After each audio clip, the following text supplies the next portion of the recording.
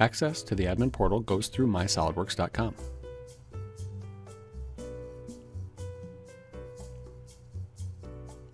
Once logged in, you will see the link under your username. The first person from your company to log in will have the option to become an administrator.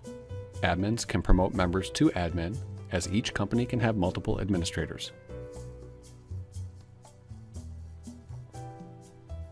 Once you log in, you can use various search and filter tools to find users and the products that they have assigned. We'll just use a fictitious company for this example.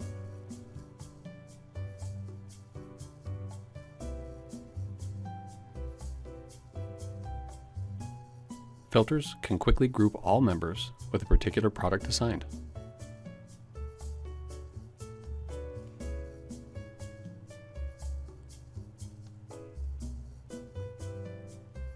Administrators can invite members, even if they don't have a My SolidWorks account yet.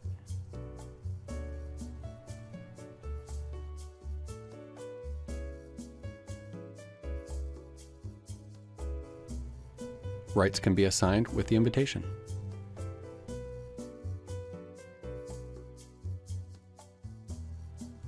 An email will arrive with a link to create your My SolidWorks profile and login.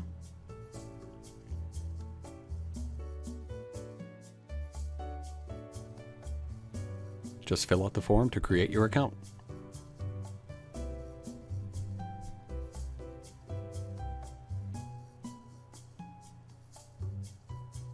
This will log you in and show you who is already an administrator at your company.